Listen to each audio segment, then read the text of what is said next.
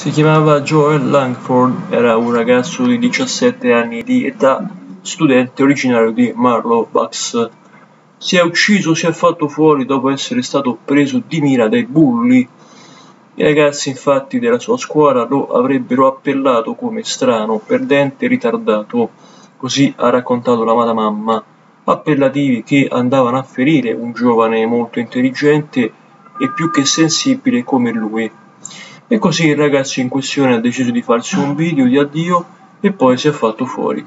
Joel soffriva di autismo, ha sopportato le prese in giro da parte dei bulli fino a quando non ce l'ha fatta più. La mamma aveva notato qualcosa che non andava più in lui. All'inizio il figlio andava bene a scuola poi il rendimento è sceso clamorosamente la famiglia sospettava qualcosa ma non sapeva che era costretta a subire Joel.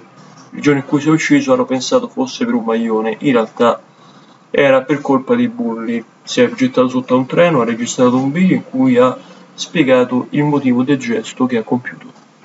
A voi un saluto caro, purtroppo Joel è solo l'ennesima vittima di bullismo, bullismo che non è, diciamo così, una piaga presente nella nostra società, quindi solo quella italiana, ma anche inglese e negli altri paesi del mondo. Joel Langford, riposi in pace, amen.